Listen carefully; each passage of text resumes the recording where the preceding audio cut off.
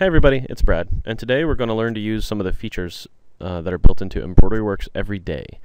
Um, in this video, we're going to learn to import our own custom fonts uh, into the program so that we can use them and just type the letters in and have the, the letters come up. So what you'll need for this is uh, a, a, font that is one that you bought.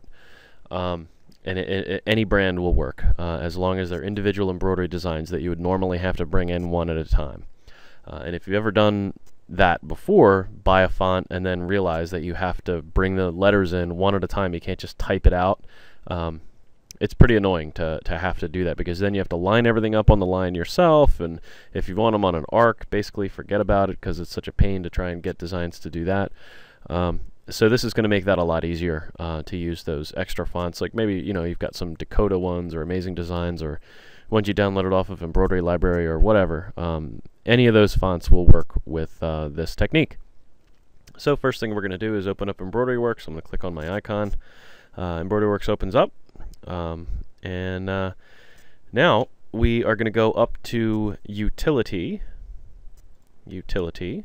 Uh, it's on this bar here. I hover my mouse over it. A little drop-down menu comes up, and I've got all these different choices here. Um, we're going to go down to here where it says import font. You're going to left click on import font. Okay. Import font. Would you like to begin importing a font? Well, yes. That's why I clicked on that. So we're going to click yes. And what it does is it opens up this little file tree here.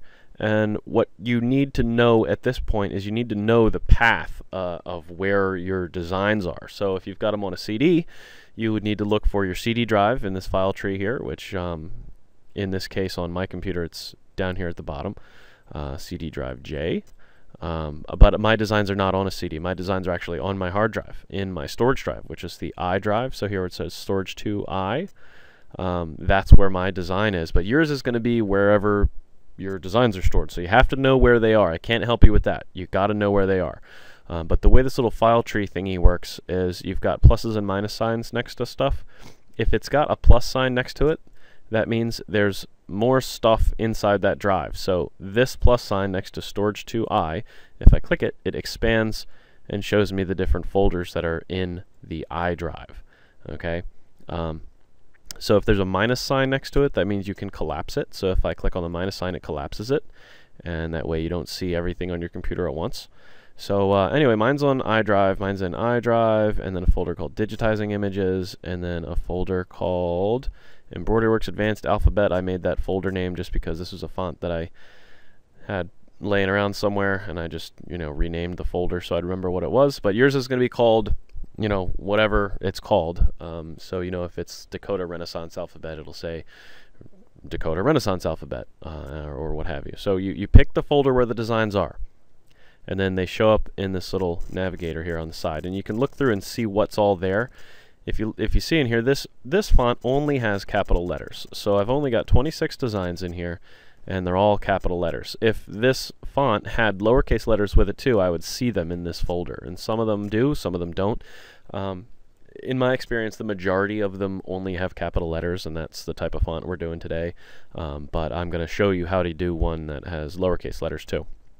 So when you're satisfied that this is in fact the font that you're trying to import, you need to go and select all of these things at once, which you could do by, you know, holding down the control key and clicking each one, blah, blah, blah. We're not going to do that. We're going to hit this select all button here. Right here, we're just going to left click select all. It selects all my letters. They're all selected. Just show, showing you. You don't have to scroll down and look. They will all be selected. And then when they're all selected, you're going to left click on import designs. So right here where it says import, you hover your mouse over it, it says import designs. Left click on that one time.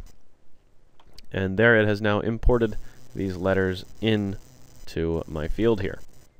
All right. Now, they're not assigned to any keys yet, though. So if I saved this font, it wouldn't really have any information because the, the computer needs to know what key corresponds to which one of these letters. Um, it can't just look at them and tell. It has to be told. So you want to make sure that the letter that you have selected is the first letter. So if you accidentally were clicking around or just clicking around for fun, you need to go and make sure you have the A selected. And the one that's selected is going to have two little lines on either side.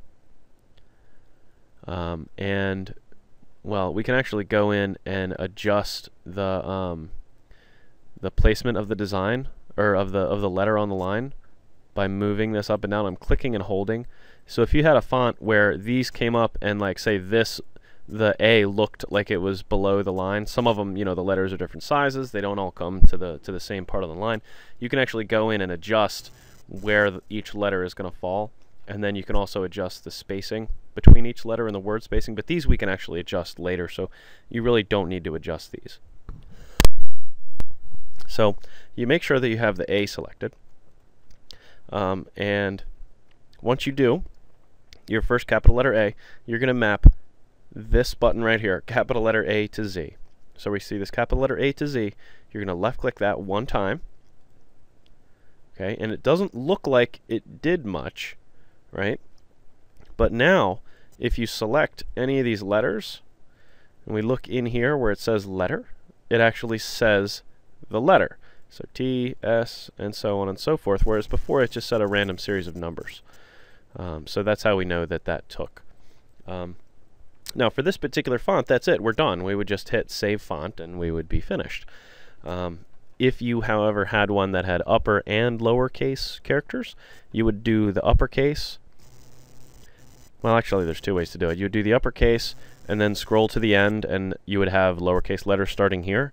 You would click on the first lowercase letter, which is going to be an A, and then you click this lowercase a to Z.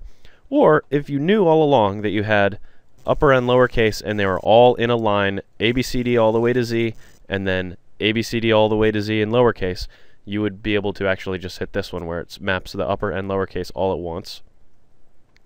And then um, if you have numbers, you can also map the numbers. So you start with 0, click on the 0, hit this button, and it maps the numbers that way too.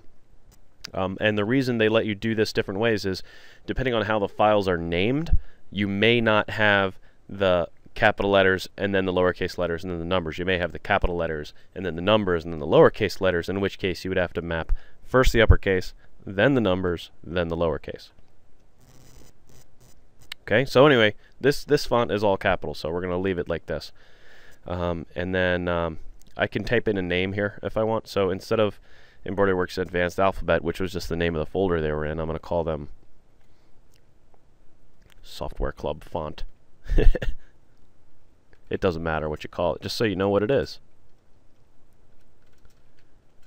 Okay, when, when you're satisfied with the name, then you're done. You're just going to hit Save Font. This button here, Add Designs, would let you add any other designs. Maybe you wanted to, to, to map um, some other font to the lowercase for some reason. You could actually do this and hit Add Designs and, uh, and map in more, um, more, more letters uh, if you wanted to. Anyway, you just hit Save Font. That's it. Now it takes you back to this screen here, uh, but we can just close. And now when we go bring up our lettering tool here, create letters, we have in our list of fonts a font called Software Club font. And I can type any capital letters in and they'll come up.